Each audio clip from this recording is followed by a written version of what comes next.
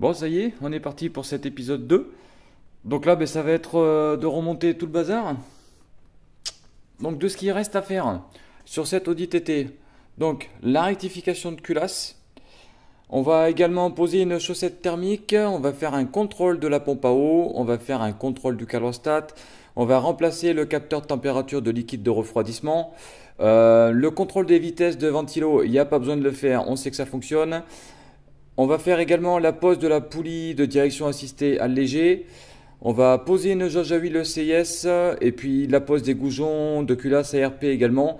Euh, voilà, donc euh, première étape, ça va être la rectification de culasse. Allez, go Bon, ça y est, la culasse a été rectifiée. Donc dans la première vidéo, je disais comme quoi la culasse avait déjà été rectifiée, mais en fait non, pas du tout.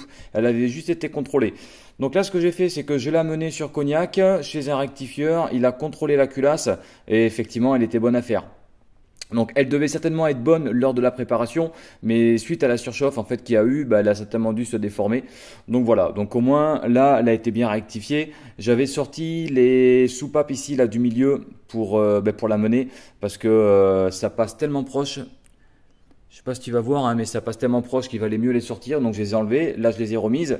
Et j'ai dû également sortir les arbres à cam et tout ça, puisque je pouvais pas lui amener une culasse avec les arbres à cam et, tout le bazar dessus. Voilà, donc ça, c'est une première étape qui est faite. Bon, alors on vient de voir rectification de culasse. C'est fait. La pose de la chaussette thermique, je l'ai fait pendant, ben, pendant le temps que, que la culasse faisait rectifier. Donc la chaussette, c'est fait, c'est posé. Je te mets une photo.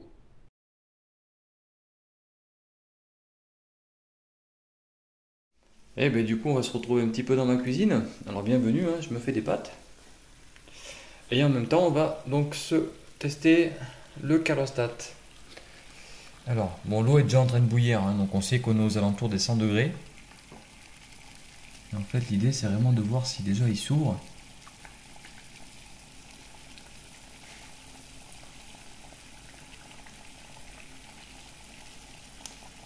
Alors...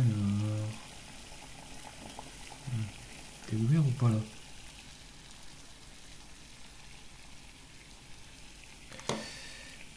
Mhm.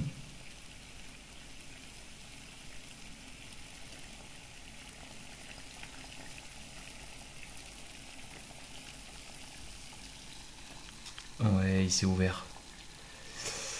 Voilà, donc là on voit bien en fait qu'il est ouvert. Hein. Donc ça veut dire que déjà il fonctionne. Tu regardes la partie arrière qui normalement... je sais pas, on va pas le voir. On va pas le voir sur la vidéo, hein, mais en fait tu vois la partie arrière en fait qui recule, ça veut dire qu'il est en train de s'ouvrir. Par contre, ce qui m'étonne, c'est qu'il s'ouvre vraiment en fait à l'eau bouillante. Euh, et l'eau bout à 100 degrés.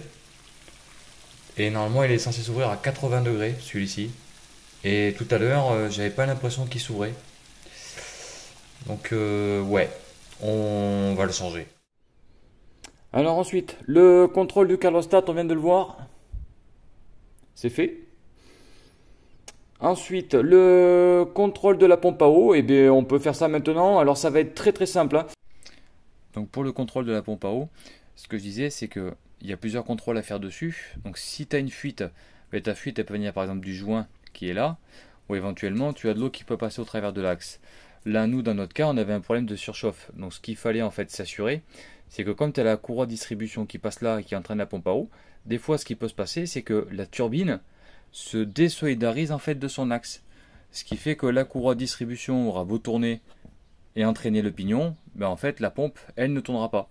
Voilà, donc le contrôle qu'on a effectué à l'intérieur du bloc en fait, c'est vraiment de s'assurer que cette partie-là est toujours solidaire de la poulie. Bon, la pompe à eau, c'est OK. Tac. Et eh bien ensuite, ce qu'on va faire, c'est qu'on va s'attaquer à la pose des goujons de culasse ARP. Mais pour ça, d'abord, il faut qu'on ouvre tous les colis. Les premiers colis sont arrivés. Bon, ce qu'on va faire, c'est qu'on va se déballer tout ça. Allez.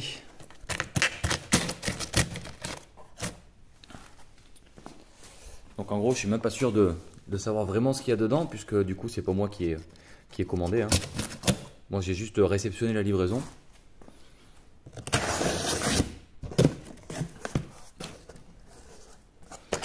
Alors, qu'est-ce qu'on a de beau là-dedans?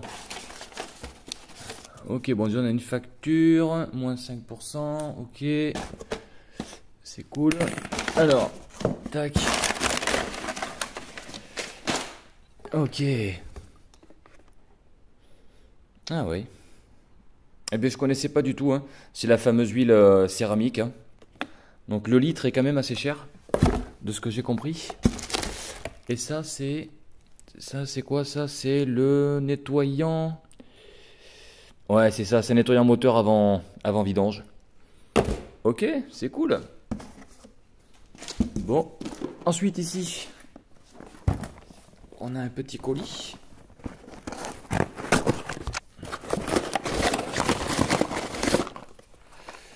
Ok, ça c'est le c'est le capteur de température.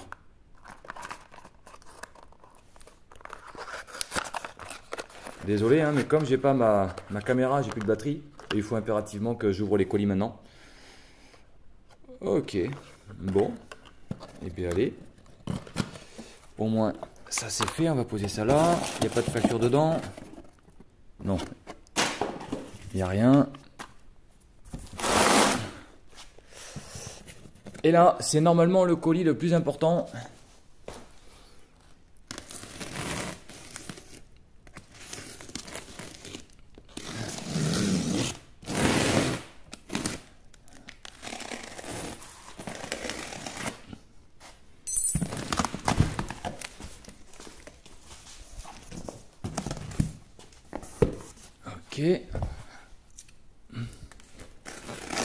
Celui-ci, il arrive d'Allemagne, de chez Turbo Concept. Ils ont bien emballé ça. Hein Alors, voyons voir qu'est-ce qu'il nous a commandé. Bon, je sais un petit peu hein, ce qu'il y a dedans, mais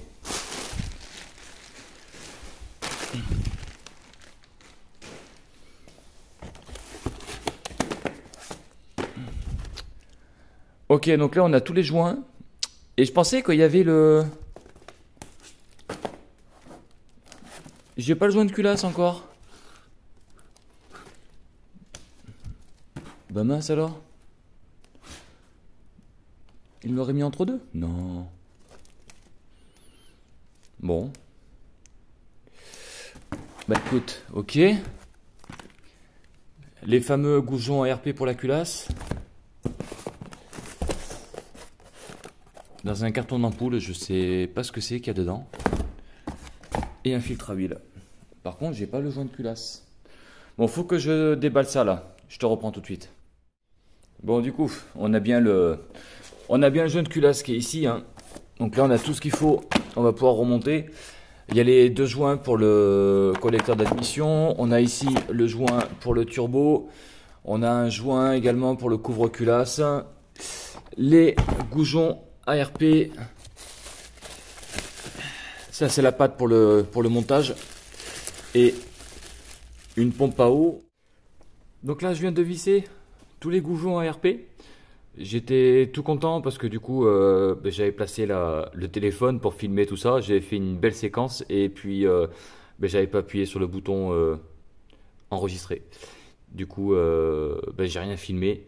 Alors rien de bien compliqué, c'est des goujons RP en fait, mais regarde, hein, si tu n'en as jamais monté, tu peux pas les, peux pas les mettre à l'envers parce que euh, ben, au-dessus en fait tu as une empreinte, euh, as une empreinte BTR pour que tu puisses euh, serrer en fait dans les puits. Donc tu peux pas le mettre à l'envers puisqu'en dessous tu n'as pas d'empreinte, donc tu auras rien pour serrer. Et pareil, tu as une espèce de petit bosselage aussi. Voilà, donc le petit bosselage il va vers le bas et l'empreinte BTR ça va vers le haut. Hein. C'est logique. Pas besoin de prendre la notice en anglais.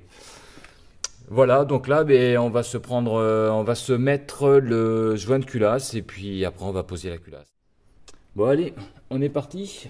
On va nettoyer le plan de joint. Je l'avais déjà entièrement, euh, complètement nettoyé. Mais je vais quand même repasser un petit coup dessus. Je vais m'assurer que tout est, euh, que tout est ok avant de replacer le, le joint de culasse.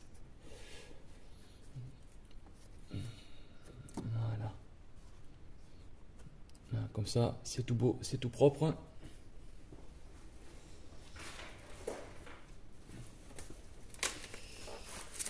Allez, un beau petit joint de culasse. Voilà. Donc là, les joints de culasse, hein, c'est pareil. Bah, tu peux pas te tromper, t'as son de sens. Hein. C'est juste pas possible.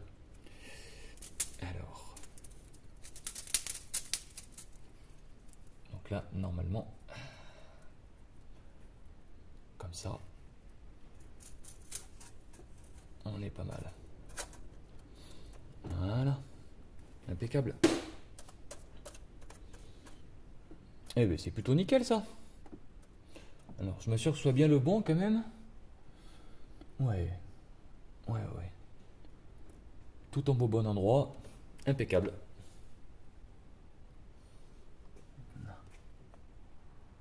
Bon, et eh bien ça commence à prendre forme. Bon, voilà, je viens donc de poser la culasse. Alors, j'ai pas filmé parce que sincèrement, je me suis, je me suis lamenté. Pour, euh, pour t'expliquer vite fait, en fait, euh, pour enlever la culasse, comme tu sors des goujons, tu peux lever un petit peu la culasse et la décaler vers la gauche.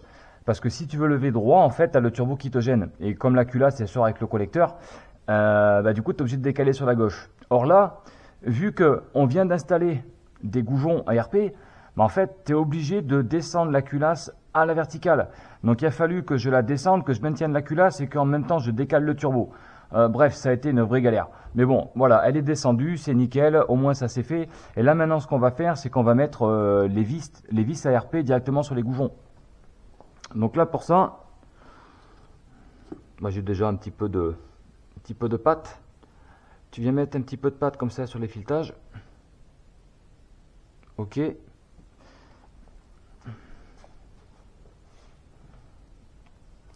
Tu viens le glisser dedans. Alors, le pas, c'est pareil, euh, c'est du XZN. Donc j'ai pas la douille là avec moi, donc je vais pas pouvoir faire le serrage. Donc ce que je fais, c'est que là j'ai du torque, ça, me permet uniquement de les approcher, histoire de dire euh, j'approche en fait tous les vis et je ferai le, serrage au couple plus tard.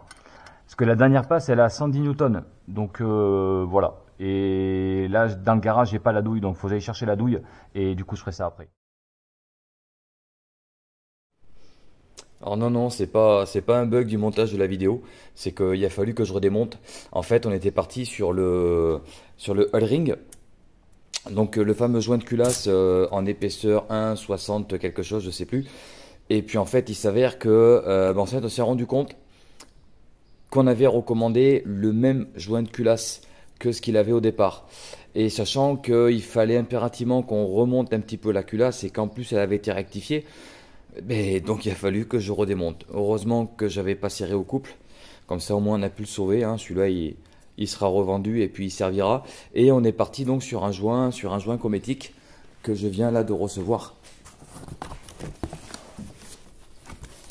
Je vais essayer de te montrer ça. Donc ça arrive de chez Bartek. Hein. Désolé pour le cadrage foireux. Donc on est parti sur une épaisseur en 1,91. Voilà.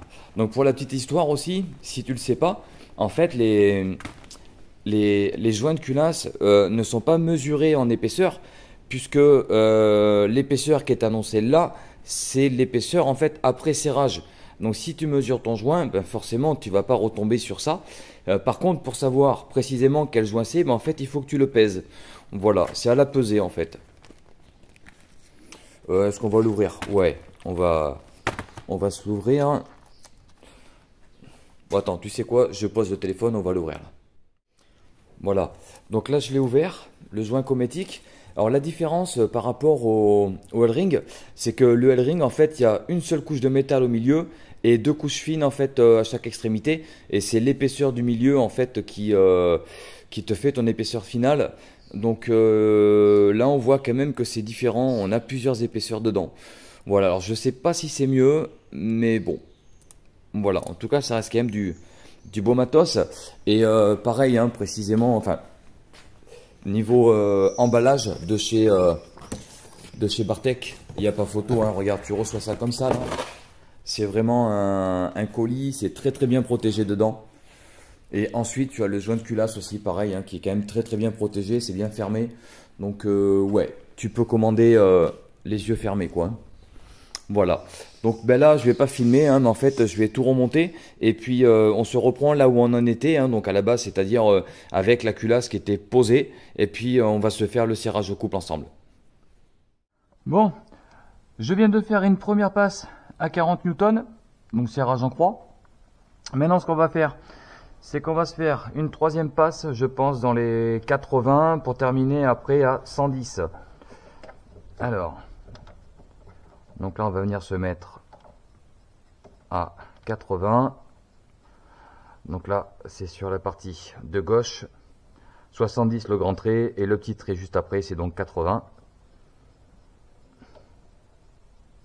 Voilà. Là, on est à 80.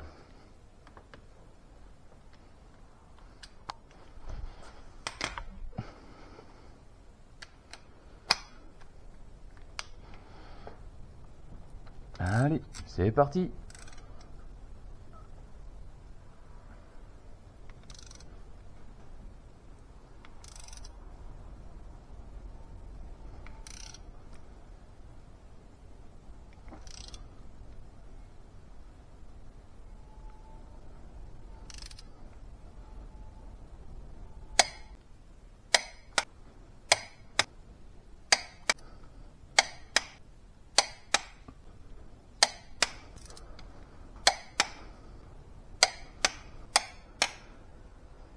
Là. Voilà. Donc là, on va faire toutes les passes à 80. Et puis ben, maintenant, on va se faire 110. Euh, Alors déjà, 80, ça force déjà pas mal. Donc là, ben, c'est parti pour le 110. Ça va être sport. Alors...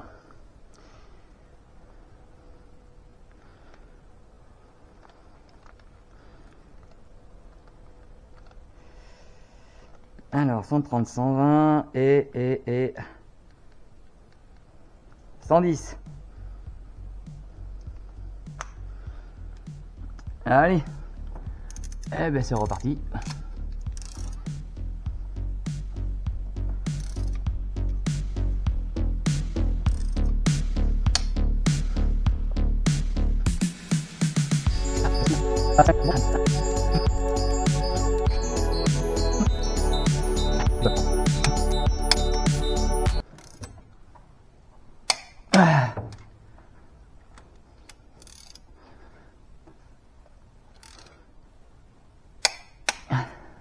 Eh ben voilà, c'est fait. Allez, impeccable. Bon, j'ai recontrôlé quand même les 10 à 110 newtons, hein, donc tout est bien serré, ça c'est parfait. Ensuite, ce que j'ai fait, c'est que ici, là, j'ai remis le, le galet tendeur de la courroie de distribution. Comme ça, lui au moins c'est bon, il est en place. Là maintenant, ce qu'on va faire, c'est qu'on va se remettre tous les poussoirs hydrauliques. Je les ai positionnés ici dans l'ordre dans lequel je les ai enlevés. Je vais les faire tremper un petit peu dans l'huile.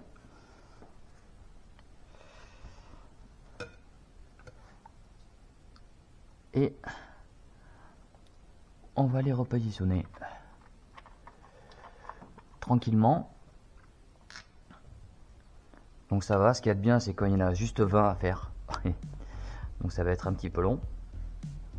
Je pense qu'on va se faire ça en accéléré.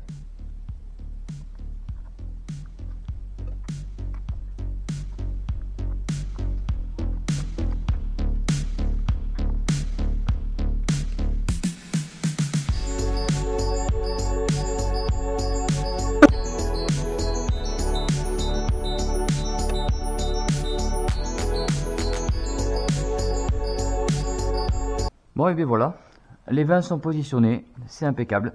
Maintenant, ce qu'on va faire, c'est qu'on va se remonter les arbres à cam. Voilà. Bon, et bien maintenant, il va rester plus qu'à serrer tout ça. Donc, je vais commencer à, remettre tous les paliers, tous les chapeaux là, et puis euh, bah, après, on va commencer le serrage au couple. Précision, quand tu viens poser tes arbres à cam, assure-toi que tes paliers soient bien, soient bien lubrifiés. N'hésite pas à mettre de l'huile en fait un petit peu partout, c'est toujours mieux. Donc euh, ensuite, si je peux te donner aussi un autre petit conseil, assure-toi que ta distribution soit calée. C'est-à-dire qu'en fait, en bas, ton fil broquin doit être calé toujours au point moraux sur le repère. Et en haut, en fait, également, ça serait dommage que tu viennes serrer tes arbres à cam et que du coup, tu aies une cam qui vienne pousser une soupape à l'endroit où tu as un piston qui est en haut. Voilà, donc euh, c'est toujours mieux comme ça. Euh, donc là, ce qu'on va faire, c'est qu'on va se serrer en fait tous les paliers à 10 newtons. J'ai déjà réglé ma clé. Ça, ce sont des vis ARP. Donc pareil, ARP te disent qu'il te faut en fait une douille spéciale. C'est pas forcément spécial, hein, c'est juste que là, par exemple, c'est euh, une douille de 8 en fait multipan, tout simplement. Voilà. Bon, ça court pas les rues, hein, mais bon. Donc là, on va serrer tout ça. Donc là, j'ai fait toutes mes approches gentiment. Hein, donc pareil, tu viens serrer en fait au fur et à mesure. T'amuses pas à serrer totalement cette partie-là sans avoir serré cette partie-là ou sans avoir serré cette partie-là. Ça prend du temps, mais tu serres gentiment, comme ça en croix, jusqu'à ce que tes abracams en fait prennent euh, leur place. Hein. Après, une fois qu'ils sont approchés, hein, t'as plus qu'à t'as plus qu'à serrer.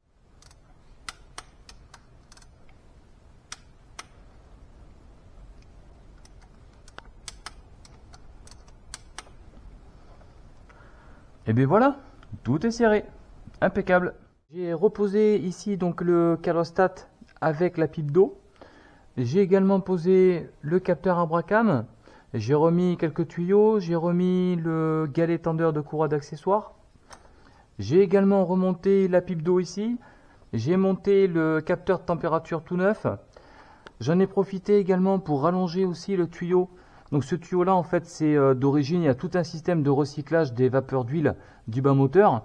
Euh, le propriétaire de la voiture m'a demandé de rallonger. Alors j'avais pas de tuyau silicone, donc ce que j'ai fait, c'est que j'ai mis en fait un, coude. à mon avis, on verra pas grand-chose, mais bon voilà, j'ai mis un coude avec des colliers et j'ai fait en sorte en fait de rallonger jusqu'à ce que ça vienne pisser ici en dessous au milieu, au niveau du filtre à huile. Voilà, parce que c'était tellement court que ça venait euh, pisser un petit peu partout par là, et c'était pas forcément terrible parce qu'il y a quand même pas mal de fils électriques, tout ça. Donc bon, au moins c'est euh, rallongé, c'est fait. Euh, j'ai également démonté ici, là, il y avait la jauge à huile d'origine, donc je l'ai enlevé parce que je vais remonter le collecteur d'admission et je vais pouvoir après installer le tube de jauge ECS. Euh, e voilà, et puis après il va rester encore pas mal de choses à faire. Ah oui, également j'ai resserré ici là le, le collecteur d'échappement avec les trois vis de la pâte thermique et un joint tout neuf en dessous. voilà, dans les grandes lignes. Donc sur ce qui nous restait à faire ici au tableau, alors je ne sais pas si on va bien voir. Alors ici au niveau du tableau, donc Rectification de culasse, c'est fait. La sucette thermique, c'est OK. Le contrôle de la pompe à eau, c'est bon. Le contrôle du carostat, c'était bon aussi. Remplacer le capteur, mais ça, je viens de le faire. La vitesse des ventilos, bon, ça, on avait dit on raye. Euh, on devait poser également une poulie de direction assistée allégée, mais en fait, le fournisseur a envoyé une poulie 2 cm trop grande en diamètre. Donc ben, du coup on a laissé tomber l'affaire. Euh, bon la pose des goujons de culasse, bon ça c'est fait depuis un petit moment. Et rallonger donc le tuyau, voilà. Donc ce qui va nous rester à faire, ben, la pose de la jauge. Euh, pose de protection thermique, ça c'est sur le tuyau d'admission. Donc c'est juste en fait enrouler une protection thermique dessus. Et puis euh, voilà. Donc là ce que je vous propose c'est que euh, en fait je vais remonter je vais quasiment tout remonter parce que maintenant il n'y a plus, il n'y a pas grand chose en fait d'intéressant. Donc je remonte tout. Je vais sûrement vous montrer ça en fait en accéléré et puis on se reprend pour le premier démarrage. Allez, à tout de suite.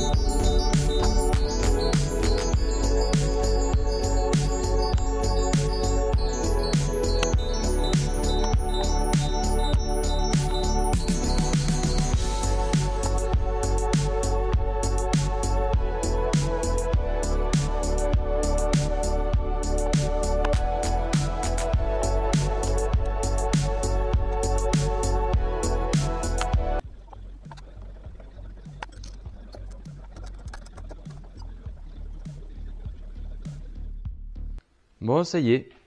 Voilà, tout est remonté. J'ai donc fini par euh, poser, en fait c'est cette partie-là, surtout il manquait de la protection thermique. Sinon, ben voilà, j'ai tout, tout, tout remonté. J'ai également posé la jauge à huile ECS avec le tube en métal. Comme là-dessus, c'est un petit peu un défaut en fait d'origine. Avec le tube plastique, ça casse sans arrêt. Là, au moins, tu as quelque chose de, beaucoup plus costaud. Hein. Tu peux tirer sur la jauge sans avoir peur de casser quoi que ce soit. Voilà, donc euh, ben là, j'ai même rebranché la batterie. Donc, euh, tout est OK. J'étais en train de remettre du liquide de refroidissement. Donc, c'est en train de descendre tout doucement. Et puis, ben là, ce qu'on va faire, c'est qu'on va s'attaquer au premier démarrage. Allez, go, c'est parti. Bon, allez. Alors, je sais plus du tout où est-ce que j'ai mis les clés. Ah ben, elles sont restées dessus. Bon, c'est impeccable. J'espère juste que je vais pouvoir passer parce que, disons qu'il y a un petit peu de, il y a un petit peu de bazar.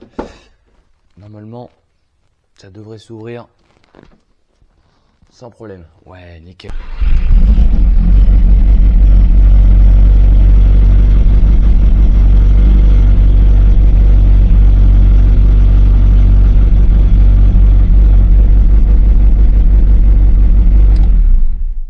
Impeccable. Alors je coupe parce que sinon j'ai plus pouvoir respirer moi dedans là. Bon, je l'ai fait, euh, je l'ai fait tourner à peu près euh, une petite demi-heure. Ensuite, ce que j'ai fait, c'est que dedans en fait j'y ai mis ça, hein, donc c'est du M-Flush. Ça permet de nettoyer en fait tout l'intérieur du bloc. Et puis ensuite, donc j'ai vidangé et j'ai changé donc le filtre à huile. Comme ça, c'est fait. Là, il me reste à faire mettre de l'huile. Donc là, c'est de l'huile céramique. Voilà, donc faut bien secouer le bidon. Voilà, faut bien bien bien mélanger. Et donc là, il va y avoir quasiment 5 euh, litres euh, d'huile dans le moteur. Et puis ben, après, ce sera un petit temps de rodage, hein, quelques kilomètres de rodage pour s'assurer que tout va bien. Et puis euh, et bien après, il faudra pousser un petit peu le turbo pour être sûr qu'il n'y ait plus de montée en pression. Voilà, en espérant que tout va bien se passer. Bon, il n'y a pas de raison. Allez, on va mettre l'huile. Allez. Maintenant, je vais essuyer, euh, parce que j'en ai foutu un peu partout, hein, je vais essuyer ça. Et puis euh, ben là, j'ai mis 4 litres, donc euh, je vais refaire la pointe correctement. Et puis ben, après, on va pouvoir les rouler avec. Bon, allez, c'est parti. On va se faire un petit essai routier. Ah, c'est pompe, elles font une espèce de vacarme.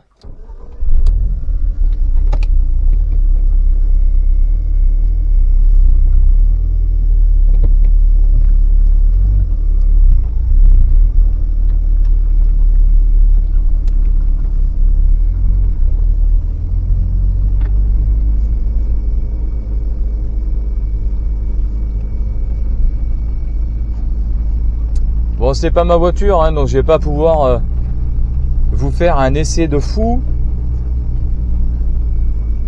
à pousser euh, tous les rapports euh, comme un malade. Ça serait ma voiture, je m'en fous. Là, bon, c'est pas la mienne.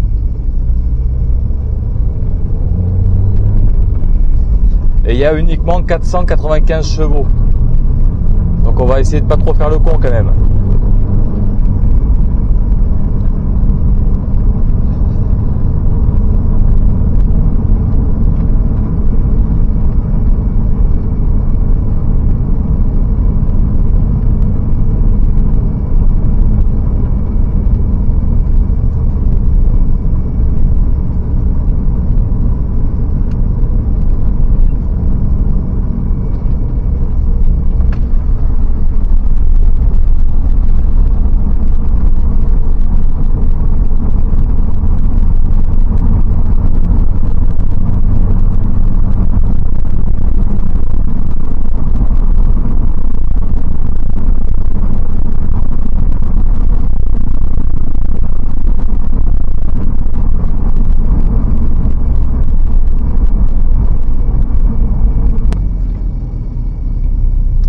On a une température stabilisée à 89 degrés.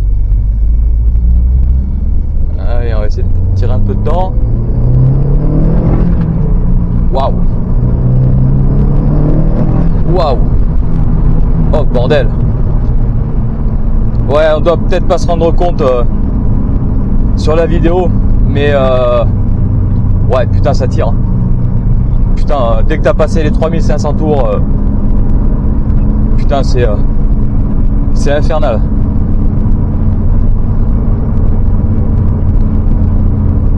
Waouh.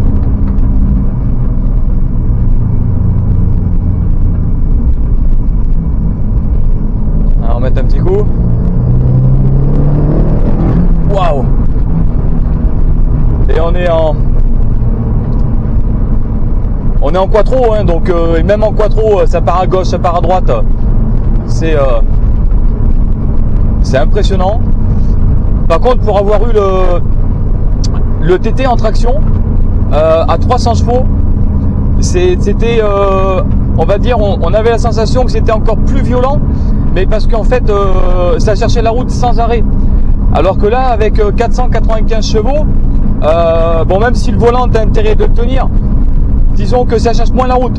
C'est déjà euh, beaucoup plus stable, c'est plus agréable. Tu sens que la caisse est plus lourde, mais c'est quand même plus agréable.